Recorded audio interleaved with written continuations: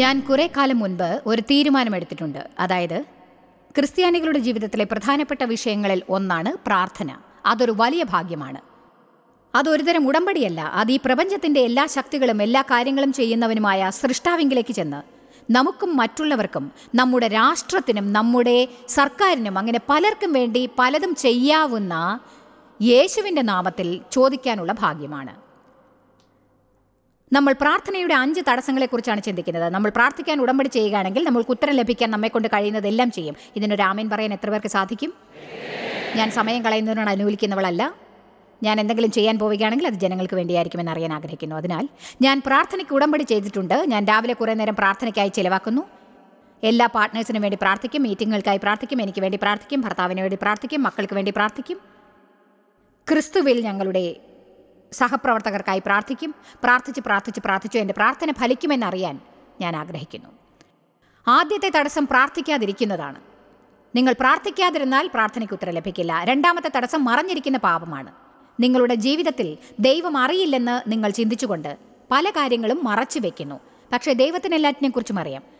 നമ്മൾ കാര്യങ്ങൾ ഏറ്റുപറയുന്നതിന്റെ പൊരുൾ നമ്മുടെ നന്മയ്ക്കാണെന്നതാണ്. നാം അത് പുറത്തേക്ക് കൊണ്ടുവരണം എന്നവൻ ആഗ്രഹിക്കുന്നു. എന്നിട്ട് അതിന് പ്രതിവിധി ചെയ്ത് അവസാനിപ്പിക്കണം. കാരണം സത്യം പറഞ്ഞാൽ മറിഞ്ഞിരിക്കുന്ന പാപം ഉള്ളിടത്തോളം നമുക്ക് സദാ ഞെരുക്കങ്ങൾ ഉണ്ടാവും കുറ്റമുള്ള മനസാക്ഷി ഉണ്ടാവും നിങ്ങൾ സ്വതന്ത്രരാവില്ല. നമ്മൾ ദൈവത്തെങ്കിലേക്ക് എന്തെങ്കിലും ചോദിക്കാൻ ധൈര്യസമേതം വരണം എന്നതാണ് സർവപ്രധാനം. ആമേൻ. ധൈര്യസമേതം എന്നാൽ ഉറക്കെ എന്നർത്ഥമില്ല വിശ്വാസത്തോടെ ധീരതയോടെ വരിക എന്നാണ് അർത്ഥം. എനിക്ക് എബ്രായർ നാല് പതിനഞ്ചും പതിനാറും ഇഷ്ടമാണ്. അതിൽ പറയുന്നു നമ്മുടെ ബലഹീനതകളെ അറിയുന്ന ഒരു മഹാപുരോഹിതൻ നമുക്കുണ്ട്.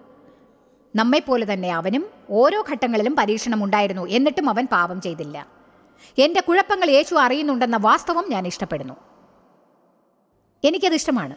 പിന്നീട് പതിനാറാം വാക്യം പറയുന്നു ആയതിനാൽ അവൻ എല്ലാം അറിയുന്നത് കൊണ്ട് നമുക്കവന്റെ കൃപയുടെ സിംഹാസനത്തിലേക്ക് ധൈര്യസമേതം ചെല്ലാം.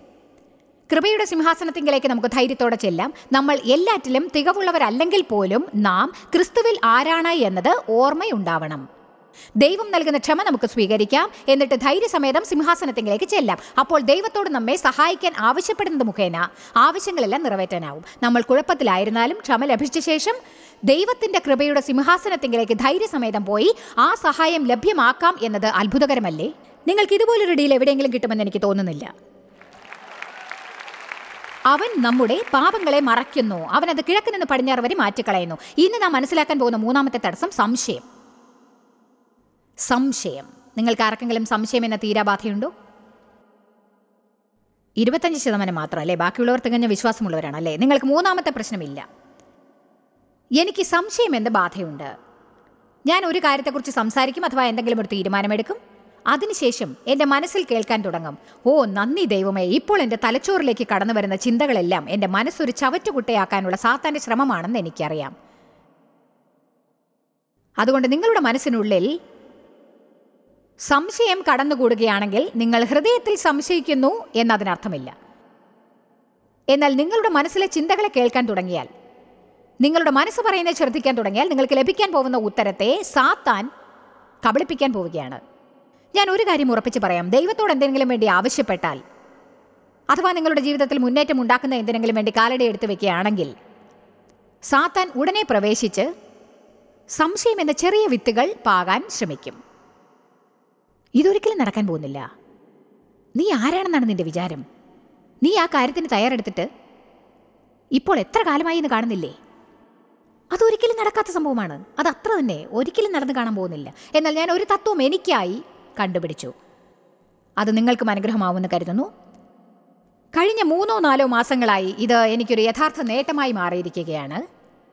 ഞാൻ ഈയിടെ ആഫ്രിക്കയിൽ പ്രസംഗിക്കാനായി പോയിട്ടുണ്ടായിരുന്നു. ദൈവം എനിക്ക് ഇടയ്ക്കിടയ്ക്ക് വളരെയധികം ശക്തമായ ഒരു ചിന്താഗതി ഉളവാക്കിക്കൊണ്ടിരിക്കുന്നുണ്ട്. അതെനിക്കൊരു തത്വമായി ഭവിച്ചിരിക്കുന്നു. അതിന്റെ ഉപദേശങ്ങൾക്ക് ഒരു അച്ചുതണ്ടായി പ്രവർത്തിക്കുന്നു. ഞാൻ പലപ്പോഴും പറയാനുണ്ട് ഞാൻ ഇനിയും എത്തേണ്ടടുത്ത് എത്തിയിട്ടില്ല. പക്ഷേ നന്ദി ദൈവമേ ഞാൻ ഇപ്പോഴും പഴയ സ്ഥലത്ത് തന്നെയല്ല. ഞാൻ നന്നായിരിക്കുന്നു മുന്നോട്ട് പോയിക്കൊണ്ടിരിക്കുകയാണ്. എത്ര പേര് ഇത് കേട്ടിട്ടുണ്ട്? എന്റെ പ്രഭാഷണങ്ങൾ കേട്ടവർക്ക് മനസ്സിലാവും. അതുകൊണ്ട് ഞാൻ അധികമായി പറയാറുള്ള മറ്റൊരു കാര്യം നിങ്ങൾക്ക് ചെയ്യാനാവുന്നത് ചെയ്യുക. നിങ്ങളാൽ ആവാത്ത കാര്യം ദൈവം ചെയ്തു തരും. ചെറിയ സ്റ്റേറ്റ്മെന്റ്സ് പക്ഷേ നിറയെ അർത്ഥമുള്ളവ. അങ്ങനെ ഞാൻ ഈ ചെറിയ തത്വം കണ്ടുപിടിച്ചു. സംശയം എന്റെ നേരെ വരുമ്പോൾ ഞാനത് നിങ്ങളോട് ഏതാനും നിമിഷങ്ങൾക്കകം പങ്കിടുന്നതാണ്. ആദ്യം നമുക്ക് ഏതാനും വചനങ്ങൾ വായിച്ചു നോക്കാം. യാക്കോബ് ഒന്ന് അഞ്ച് ആറാം വാക്യം വരെ. നിങ്ങൾ ഇന്ന് ഇവിടെ വന്നതിൽ ഞാൻ സന്തോഷിക്കുന്നു. ഞാൻ ഇവിടെ വന്നതിലും സന്തോഷിക്കുന്നു. നിങ്ങൾക്ക് ജ്ഞാനമില്ലാതെ പോവുകയാണെന്ന് തോന്നുമ്പോൾ അതായത് ഒരു പരിതസ്ഥിതിയിൽ അകപ്പെട്ടിട്ട് എന്ത് ചെയ്യണമെന്നറിയാതെ കുഴങ്ങുമ്പോൾ അതുപോലെ ആരെങ്കിലും ഇവിടെയുണ്ടോ? ശരി. നിങ്ങളിൽ ഒരുത്തന് ജ്ഞാനം കുറവാകുന്നു എങ്കിൽ ഭത്സിക്കാതെ എല്ലാവർക്കും ഔദാര്യമായി കൊടുക്കുന്നവനായ ദൈവത്തോട് യാചിക്കട്ടെ. അവൻ ഒരുത്തന് മാത്രമല്ല തന്നോട് അപേക്ഷിക്കുന്ന എല്ലാവർക്കും ഒരുപോലെ കൊടുക്കുന്നവനാകുന്നു. അപ്പോൾ അവന് ലഭിക്കും. അപ്പോൾ അവന് ലഭിക്കും. ലഭിച്ചേക്കാമെന്നല്ല പറയുന്നത്? അവന് അത് ലഭിക്കും എന്നാണ്. ദൈവമേ നാം ബൈബിൾ ശരിക്കും വായിച്ച് ഓരോ വാക്യങ്ങളും എടുത്തെടുത്ത് വായിച്ച് അതിനെക്കുറിച്ച് ധ്യാനിക്കണം. ബൈബിൾ കണക്ക് തീർക്കാനായി വായിക്കരുത്. തരമുള്ളതായി വായിക്കേണ്ടതാണ്. നിങ്ങൾ എന്തുമാത്രം വായിക്കുന്നു എന്നതല്ല പ്രശ്നം. നിങ്ങൾ വായിച്ചതിൽ നിന്ന് എന്ത് മനസ്സിലാക്കി എന്നുള്ളതാണ്. ഈ വാക്യം അത്ഭുതകരമായ ഒന്നാണ് പറയുന്നത്. എന്ത് ചെയ്യണമെന്ന് അറിയാതെ ഇരിക്കുമ്പോൾ ദൈവത്തോട് ചോദിക്കൂ. അവൻ നിങ്ങളെ സഹായിക്കും. നിങ്ങളുടെ കുറ്റങ്ങളെ അവൻ കാണില്ല. പണ്ട് നിങ്ങൾ ദൈവം ആഗ്രഹിച്ച വിധത്തിൽ ജീവിച്ചിട്ടില്ലെങ്കിൽ പോലും അവൻ വിരോധമുള്ള മനോഭാവത്തോടെ പെരുമാറുകയില്ല. ചോദിക്കൂ. അവൻ നിങ്ങളെ സഹായിക്കും. നമുക്ക് സ്ക്രീനിൽ കാണിക്കാം. ആറാം വാക്യം. എന്നാൽ ചോദിക്കുന്നവൻ വിശ്വാസത്തോടെ ഒന്നും സംശയിക്കാതെ വേണം ആവശ്യപ്പെടാൻ. അവൻ ചഞ്ചലപ്പെടരുത് സംശയിക്കരുത്. അതായത് നമ്മൾ വിശ്വസിക്കുന്നതിൽ ഉറച്ചു നിൽക്കാൻ മനസ്സിൽ തീരുമാനിക്കണം എന്നർത്ഥം. മനസ്സ് മാറിക്കൊണ്ടിരിക്കരുത് ചാഞ്ചാടിക്കൊണ്ടിരിക്കരുത്. ശരി ഒരു മിനിറ്റ് ഞാൻ വിശ്വസിക്കും. അടുത്ത ക്ഷണം എനിക്ക് തോന്നും ഓ അത് വേണ്ട എന്ന്. ദൈവം ഇതാണ് എനിക്ക് വേണ്ടി നിയോഗിച്ചതെന്ന് ഞാൻ വിശ്വസിക്കുന്നു. ഇല്ല ദൈവത്തിന് ഇത് ചെയ്യാനാവുമെന്ന് ഞാൻ കരുതുന്നുണ്ടോ എന്നറിയില്ല. സംശയിക്കുന്നവൻ കാറ്റടിച്ച് അലയുന്ന കടൽ തിരക്ക് സമൻ. കാറ്റടിക്കുമ്പോൾ തിരമാലകൾ അങ്ങോട്ടും ഇങ്ങോട്ടും ചാഞ്ചാടിക്കൊണ്ടിരിക്കും. ഇങ്ങനെയുള്ള മനുഷ്യൻ കർത്താവിങ്കിൽ നിന്ന് വലതും ലഭിക്കും എന്ന് നിരൂപിക്കരുത്. എന്തുകൊണ്ട്? കാരണം ആ സംശയം പാതകളെ അടച്ചു വയ്ക്കുന്നു റോഡ് ക്ലോസ്ഡ്. ഞാൻ വിശ്വാസത്തിൽ പ്രാർത്ഥിച്ചിട്ടുണ്ട്. ഞാൻ പ്രാർത്ഥനകൾ പുറത്തേക്ക് നൽകിയിട്ടുണ്ട്. ദൈവം ഒരു ഉത്തരം അയച്ചാൽ പോലും അവൻ അതിലേക്ക് കടന്നു വരാനാവില്ല. കാരണം അങ്ങോട്ടുള്ള പാത അടച്ചിരിക്കുകയാണ്. നിങ്ങൾ ചോദിക്കാം ഒന്ന് വേഗം പറയാമോ? എന്താണ് ഉത്തരമെന്ന്? ഉത്തരം വേഗം പറയൂ. ഉത്തരം ഒരു മിനിറ്റിനകം പറയാം. നിങ്ങൾ അതിനായി വിശന്നിരിക്കണം. മർക്കോസ് പതിനൊന്ന് ഇരുപത്തിമൂന്ന്. ഇത് വളരെ എളുപ്പമാണ് പക്ഷേ ഭീതിയുള്ളതുമാണ്. ഞാൻ സത്യമായിട്ട് നിങ്ങളോട് പറയുന്നു. ദൈവത്തിൽ വിശ്വാസമുള്ളവരായിരിപ്പിൻ ആരെങ്കിലും തന്റെ ഹൃദയത്തിൽ സംശയിക്കാതെ താൻ പറയുന്നത് സംഭവിക്കുമെന്ന് വിശ്വസിച്ചും കൊണ്ട് ഈ മലയോട് കടലിൽ ചാടി പോക എന്ന് പറഞ്ഞാൽ അവൻ പറഞ്ഞതുപോലെ സംഭവിക്കും. വായയെക്കുറിച്ച് നാല് ഭാഗങ്ങളുള്ള ഒരു സീരീസ് ഉണ്ടാക്കുന്നത് വളരെ നന്നായിരിക്കും പക്ഷേ ഇന്ന് നമുക്കതിന് കഴിയില്ല. അതുകൊണ്ട് നിങ്ങൾ പ്രാർത്ഥിക്കുമ്പോൾ യാചിക്കുന്നതൊക്കെയും ലഭിച്ചു എന്ന് വിശ്വസിപ്പിൻ. എന്നാൽ അത് നിങ്ങൾക്ക് ഉണ്ടാകും എന്ന് ഞാൻ നിങ്ങളോട് പറയുന്നു. ഇത് നോക്കൂ. നിങ്ങൾ ഒരു കാര്യത്തിനായി പ്രാർത്ഥിച്ചിട്ട് അത് ഉടനെ കിട്ടിയില്ലെന്ന് വരാമല്ലേ? ഇവിടെ പറയുന്നു നിങ്ങൾ പ്രാർത്ഥിച്ച് അത് ലഭിക്കുമെന്ന് വിശ്വാസത്തോടെ കാത്തിരിക്കൂ. പക്ഷെ കാത്തിരിക്കുമ്പോഴാണ് നമുക്ക് പ്രശ്നങ്ങൾ ഉണ്ടാവുന്നത്. ശരിയല്ലേ? നമ്മൾ പ്രാർത്ഥിച്ച ഉടനെ ഉത്തരം കിട്ടുകയാണെങ്കിൽ ആർക്കും ഒരു പ്രശ്നവും ഉണ്ടാവില്ല. പക്ഷെ പ്രാർത്ഥിച്ചിട്ട് ഒരാഴ്ചയോ ഒരു മാസമോ മൂന്ന് മാസമോ ആറ് മാസമോ ഒരു വർഷമോ രണ്ട് വർഷമോ? മൂന്ന് വർഷമോ? നാല് വർഷമോ? അഞ്ച് വർഷമോ? കാത്തിരിക്കേണ്ടി വരുമ്പോൾ അത് സാത്താന് നിങ്ങളുടെ മനസ്സിനെ കുഴപ്പത്തിലാക്കാനുള്ള സമയം കൊടുക്കുന്നു. ആമേൻ. അതുകൊണ്ട് സാത്താൻ നമ്മോട് കള്ളം പറയുന്ന സമയത്ത് നാം ചെയ്യേണ്ടത് എന്താണെന്ന് വെച്ചാൽ അവനോട് തിരിച്ച് എന്തെങ്കിലും പറയണം എന്ന് ഞാൻ കണ്ടുപിടിച്ചു. സാത്താനോട് എതിർത്ത് സംസാരിക്കാൻ പഠിക്കണം. ഏ? ശരി ആദ്യം നിങ്ങൾ ഇങ്ങനെ നോക്കുന്നത് എന്താ? നിങ്ങളുടെ തലച്ചോറിൽ കടന്നു വരുന്ന ചിന്ത നിങ്ങളുടേതല്ലെന്ന് ആദ്യം മനസ്സിലാക്കണം. അത് നിങ്ങളുടെ ചിന്തയാണെന്ന് കരുതി അതിനെക്കുറിച്ച് ധ്യാനിച്ച് അത് നിങ്ങളുടേതാക്കരുത്. ആരെങ്കിലും നിങ്ങൾക്ക് വിഷം തന്നാൽ നിങ്ങൾ അത് കഴിക്കില്ല. കാരണം ആരോ അത് നിങ്ങൾക്ക് തന്നതാണല്ലേ? സാത്താൻ നമ്മുടെ ജീവിതം വിഷമാക്കാൻ ശ്രമിക്കും. അവൻ ദിവസത്തിൽ പല പ്രാവശ്യം നമ്മുടെ മനസ്സിൽ തെറ്റായ ചിന്തകൾ നിക്ഷേപിക്കും. പക്ഷെ വേദപുസ്തകം പറയുന്നു നിങ്ങൾക്ക് തെറ്റായ ചിന്തകളെ പുറത്തേക്ക് കളഞ്ഞിട്ട് നല്ല ചിന്തകളെ നിലനിർത്താമെന്ന്.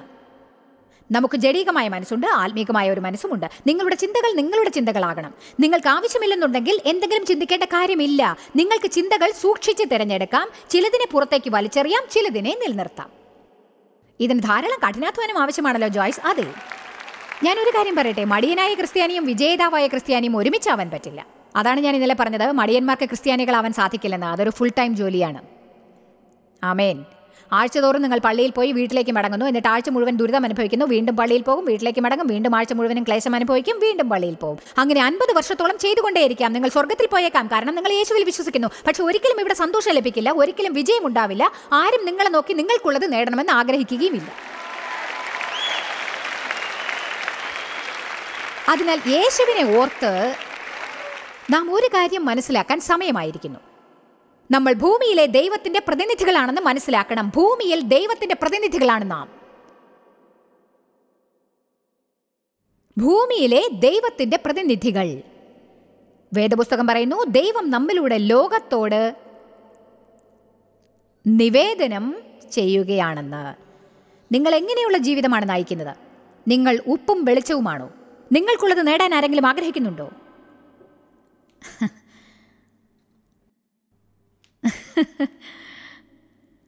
ആ ചിന്തയോടെ ഞാൻ നിങ്ങളെ വിടുകയാണ്.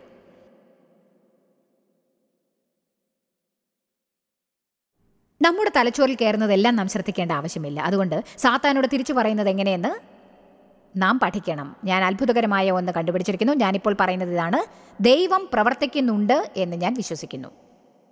അതെങ്ങനെയായിരിക്കുമെന്ന് എനിക്കറിയണ്ട അതുകൊണ്ട് എന്ത് തോന്നുമെന്നും അറിയേണ്ടതില്ല. ഞാൻ എന്ത് കണ്ടാലും കാര്യമാക്കില്ല കണ്ടില്ലെങ്കിലും കാര്യമാക്കില്ല. അതിന് എത്ര കാലം എടുത്താലും എനിക്ക് വിഷമമില്ല. ദൈവം പ്രവർത്തിക്കുന്നുണ്ടെന്ന് ഞാൻ വിശ്വസിക്കുന്നു. അത് സത്യമാണെന്ന് എനിക്കറിയാം. നമ്മൾ ഫലം കാണുമ്പോൾ ദൈവം പ്രവർത്തിക്കുമ്പോൾ ഉണ്ടായിരുന്ന ഫലം ദൈവത്തെ കാണാത്തപ്പോഴും നാം കാണുകയാണ്.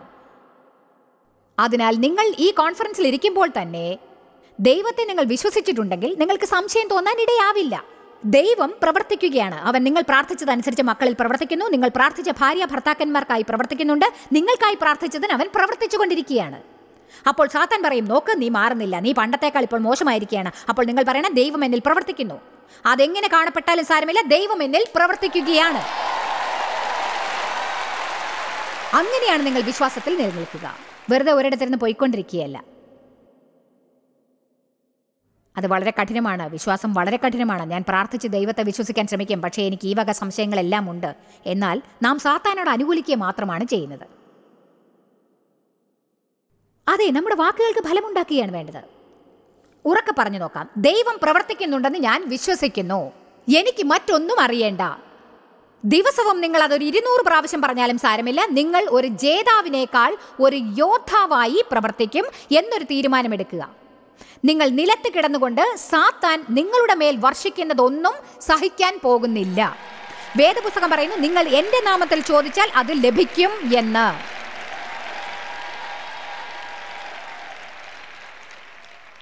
മറ്റുള്ളവരെ കുറിച്ചുള്ള കാര്യങ്ങൾക്കായി നിങ്ങൾ പ്രാർത്ഥിക്കുമ്പോൾ ചിലപ്പോൾ അതിന് കുറേ നേരം പിടിക്കും എന്നെനിക്ക് തോന്നുന്നു. കാരണം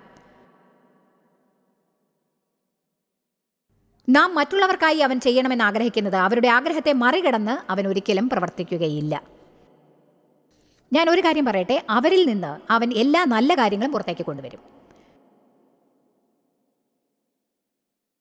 പക്ഷേ നാം ചിലപ്പോൾ മറ്റുള്ളവർക്ക് വേണ്ടി എങ്ങനെയാണ് പ്രാർത്ഥിക്കേണ്ടത് എന്നതിനായി പ്രാർത്ഥിക്കേണ്ടി വരും.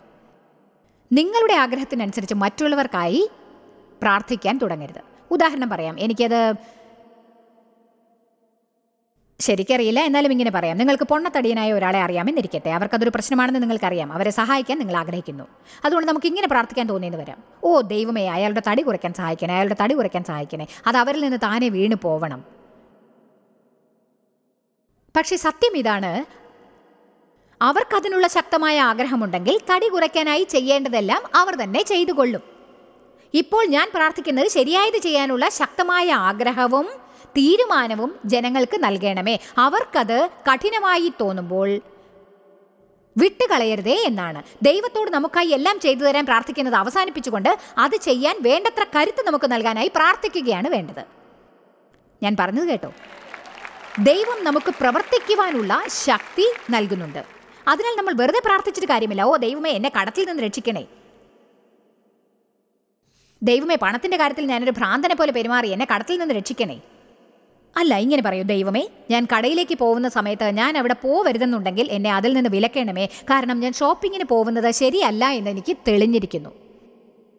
പക്ഷേ ഞാൻ പോകണമെങ്കിൽ ദൈവമേ എന്നെ സഹായിക്കുക എന്നെ സഹായിക്കുക സഹായിക്കുക എന്നെ കൊണ്ട് വാങ്ങിക്കാൻ പറ്റാത്തത് വാങ്ങിക്കാതിരിക്കാൻ എന്നെ സഹായിക്കുക എന്നെ സഹായിക്കുക അല്ലാതെ ഇങ്ങനെയല്ല ഓ ദൈവമേ എന്നെ കടത്തിൽ നിന്ന് രക്ഷിക്കുക ഓ ദൈവമേ തടി കുറയ്ക്കാൻ എന്നെ സഹായിക്കുക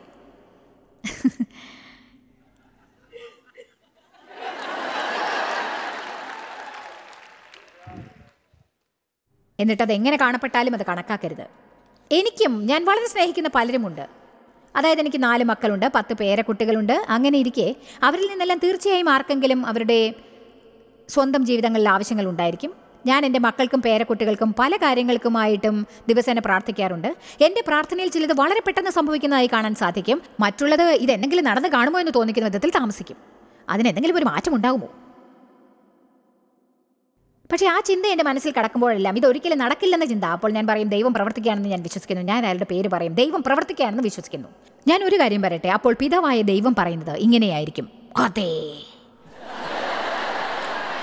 അവർ ഇപ്പോഴും വിശ്വസിക്കുന്നുണ്ട്. അതേ. പറയൂ ദൈവം പ്രവർത്തിക്കുന്നുണ്ടെന്ന് ഞാൻ വിശ്വസിക്കുന്നു. ഇതൊരിക്കലും നടക്കാൻ പോകുന്നില്ല. ഇത് നടന്നു കാണുമെന്ന് എനിക്ക് തോന്നുന്നില്ല എന്ന് ചിന്തിക്കാതിരിക്കാൻ ഇതെങ്ങനെയാണ് നിങ്ങളെ സഹായിക്കുക എന്നതിനെക്കുറിച്ച് ഒരു സൂചന ഇപ്പോൾ ലഭിച്ചില്ലേ? ദൈവം പ്രവർത്തിക്കുന്നുണ്ടെന്ന് ഞാൻ വിശ്വസിക്കുന്നു. നമുക്ക് രണ്ട് കൊരിന്തിയർ ഒന്ന് നോക്കാം. നാല്.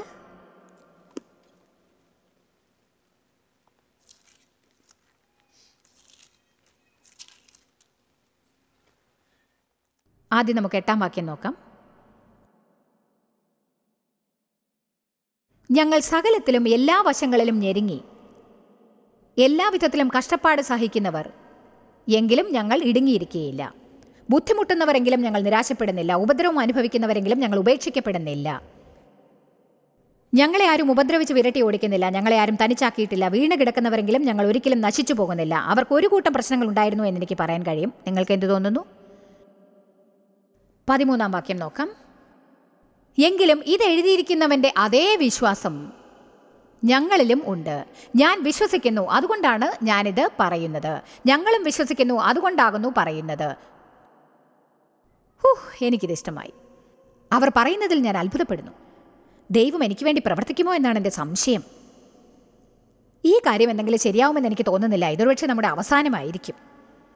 ഞങ്ങൾക്ക് പലതരം പരീക്ഷകൾ ഉണ്ടായിരുന്നു. പക്ഷെ ഞാൻ പറയട്ടെ ഇതൊരുപക്ഷെ ഞങ്ങളെ തലകീഴാക്കി മാറ്റുമായിരിക്കും. ഇല്ല ജയിലിലായിരുന്ന സമയത്തും പൗലോസ് ഇതാണ് പറഞ്ഞതെന്ന് ഞാൻ വിശ്വസിക്കുന്നു. ദൈവം പ്രവർത്തിക്കുന്നുണ്ട്.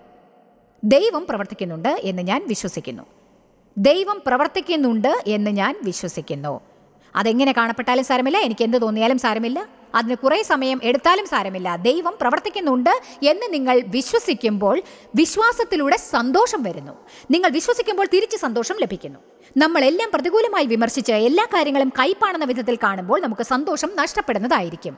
എന്നാൽ ഇങ്ങനെ പറയുമ്പോൾ നിങ്ങൾ സ്വയം സഹായിക്കുകയാണ്. ദൈവം പ്രവർത്തിക്കുന്നുണ്ട് എന്ന് ഞാൻ വിശ്വസിക്കുന്നു.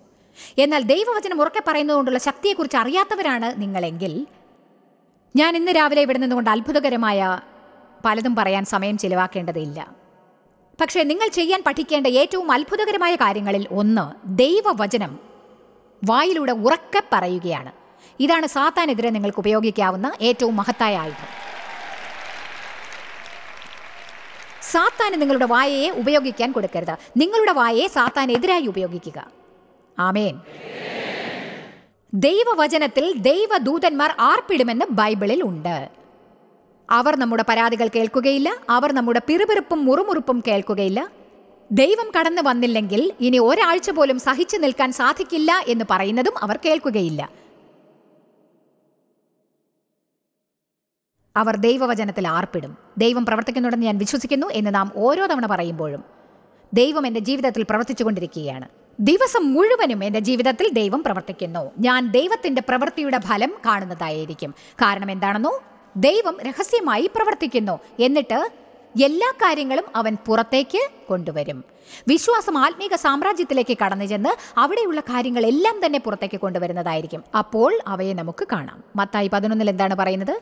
നിങ്ങൾ വിശ്വസിച്ചാൽ നിങ്ങൾക്ക് അത് ലഭിക്കും. അത് എപ്പോഴാണ് കിട്ടുക എന്നതിൽ പറയുന്നില്ല. എന്നാൽ അത് പറയുന്നു നിങ്ങൾക്ക് അത് കിട്ടും എന്ന്. എല്ലാവരും പറയൂ ദൈവം പ്രവർത്തിക്കുന്നുണ്ടെന്ന് ഞാൻ വിശ്വസിക്കുന്നു. നമ്മൾ സംശയത്തെക്കുറിച്ച് വളരെയധികം ശ്രദ്ധിക്കണം.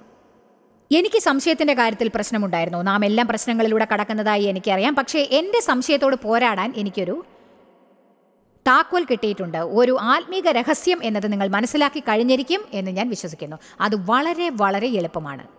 എന്തിനെക്കുറിച്ചെങ്കിലും ഞാൻ പ്രാർത്ഥിച്ചുകൊണ്ടിരുന്നിട്ട് അതിനെക്കുറിച്ച് എന്റെ മനസ്സിൽ സംശയം ഉദിക്കുമ്പോൾ ദൈവത്തോട് പ്രവർത്തിക്കാൻ ആവശ്യപ്പെടുമ്പോൾ ഞാനത് വിട്ടുകളയുന്നതായിരിക്കും നല്ലതെന്ന് സാത്താൻ എന്നെക്കൊണ്ട് ചിന്തിപ്പിക്കുന്നു. ഇത് നടക്കുകയില്ല എന്ന് അവൻ പറയും. അപ്പോൾ ഞാൻ ഇങ്ങനെ ഉറക്കെ പറയാൻ പോകുന്നു ദൈവം പ്രവർത്തിക്കുന്നുണ്ട് എന്ന് ഞാൻ വിശ്വസിക്കുന്നു. ആ പരിതസ്ഥിതിയിൽ നമുക്കൊരിക്കൽ കൂടി പറയാനാവുമോ? ദൈവം പ്രവർത്തിക്കുകയാണ് എന്ന് ഞാൻ വിശ്വസിക്കുന്നു.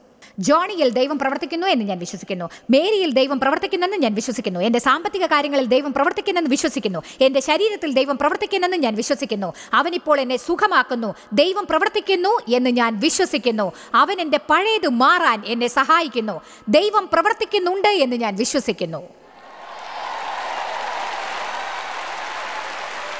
ആമേൻ. ഇത് വേണ്ടത്ര പറഞ്ഞാൽ സാത്താൻ നിങ്ങളെ വെറുതെ വിടും. അവൻ പറയുന്നത് കേൾക്കുന്ന മറ്റൊരാളിലേക്ക് പോകും ഇത് നാം മനസ്സിലാക്കേണ്ടത് വളരെ പ്രധാനമാണ്.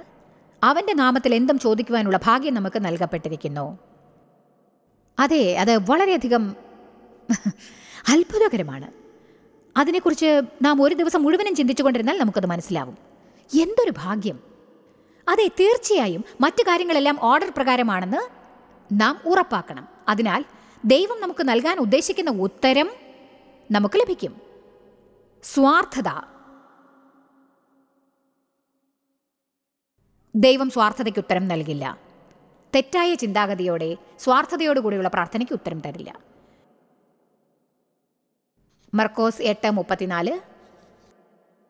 അത് എത്രമാത്രം പ്രധാനമാണെന്ന് പറയുന്നു? നമ്മെ സ്വാർത്ഥതയിൽ നിന്ന് വിടുവിക്കാൻ ദൈവത്തെ അനുവദിക്കണം. യേശു തന്നെ അനുഗമിക്കുന്നവരോട് ശിഷ്യന്മാരോട് പറയുന്നു ഇത് ശരിയായി മനസ്സിലാക്കൂ. യേശു ഒരുപക്ഷെ നിൽക്കുന്നത് പാറയിലായിരിക്കാം. അവനൊരു വയലിൽ ജനങ്ങളോട് പ്രസംഗിക്കുകയാണ്. അവൻ പറഞ്ഞു നോക്കൂ എന്നെ അനുഗമിക്കാൻ നിങ്ങൾ ഇച്ഛിച്ചാൽ നിങ്ങളെ ത്യജിച്ച് നിങ്ങളെ മറന്ന് നിങ്ങളെ നിരാകരിച്ച് നിങ്ങളെ തള്ളിപ്പറഞ്ഞ് നിങ്ങളെക്കുറിച്ച് മറന്ന് സ്വന്തം താല്പര്യങ്ങൾ മാറ്റിവെക്കുവിൻ. അതൊരു വലിയ തമാശയായി തോന്നുന്നില്ല ശരിയല്ലേ? എന്നിട്ട് കുരിശെടുത്തുകൊണ്ട് അവന്റെ ശിഷ്യനായി ചേരുക. എന്റെ ഭാഗത്ത് നിന്ന് തുടർച്ചയായി എന്നെ പിന്തുടർന്ന് എന്നെ മുറുകെ പിടിച്ചുകൊണ്ടിരിക്കുക. എന്നാൽ കാര്യം ഇതാണ് വളരെ ലളിതം. നമ്മൾ നമ്മെ സംരക്ഷിക്കാൻ ശ്രമിക്കുന്നത് നിർത്തുമ്പോൾ നമ്മെ ദൈവം സംരക്ഷിക്കുന്നതാണ്. ഞാൻ ഒരു കാര്യം പറയട്ടെ നമുക്ക് ചെയ്യാവുന്നതിനേക്കാൾ ഏറ്റവും മേൽത്തരമായി അവൻ എന്തും പ്രവർത്തിക്കും എന്നത് ഉറപ്പാണ്. ദൈവത്തിന് ഒരു ക്ഷണം കൊണ്ട് നിങ്ങൾ ജീവിതകാലം എല്ലാം ശ്രമിച്ചുകൊണ്ടിരിക്കുന്നത് നടത്താൻ സാധിക്കും. നിങ്ങൾ ജീവിതകാലം മുഴുവൻ ശ്രമിച്ചുകൊണ്ടിരുന്നത് ദൈവത്തിന് ഒരു ക്ഷണം കൊണ്ട് നടത്താനാവും. ഏതൊരു കൗണ്ടറിൽ നിന്നും നിങ്ങൾക്ക് വാങ്ങാനാവാത്ത സന്തോഷത്തെ അളവിൽ അധികമായി തരാൻ ദൈവത്തിന് സാധിക്കും.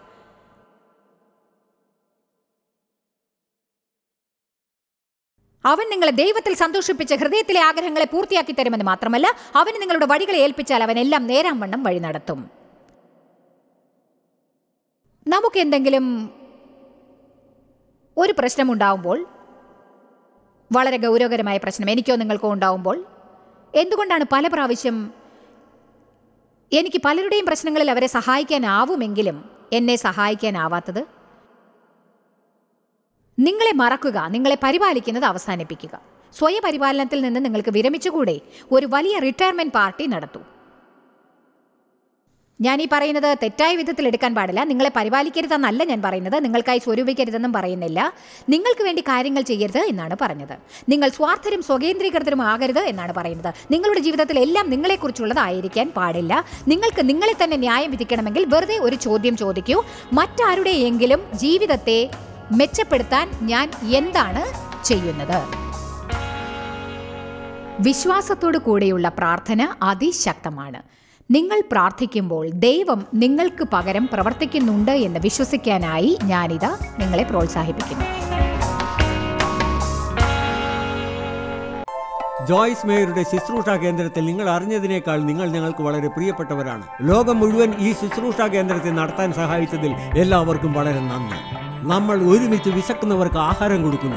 പാവപ്പെട്ടവർക്ക് വസ്ത്രങ്ങൾ കൊടുക്കുന്നു. എല്ലാ ദേശത്തേക്കും സന്ദേശങ്ങൾ അറിയിക്കുന്നു. ഞങ്ങൾ നിങ്ങളോട് അപേക്ഷിക്കുകയാണ്. ഞങ്ങളോട് ബന്ധപ്പെടുക. ജോയ്സ് നിങ്ങളുടെ പ്രാർത്ഥനകളും അപേക്ഷകളും പകർന്നുകൊള്ളാൻ അതിനെപ്പറ്റി കൂടുതൽ അറിയുവാൻ ജോയ്സിന്റെ പൊതുയോഗ വിവരപ്പട്ടിക ലോകം മുഴുവൻ ക്രിസ്തുവിന്റെ സ്നേഹം പകരാൻ ഞങ്ങളോട് പങ്കുചേരുക.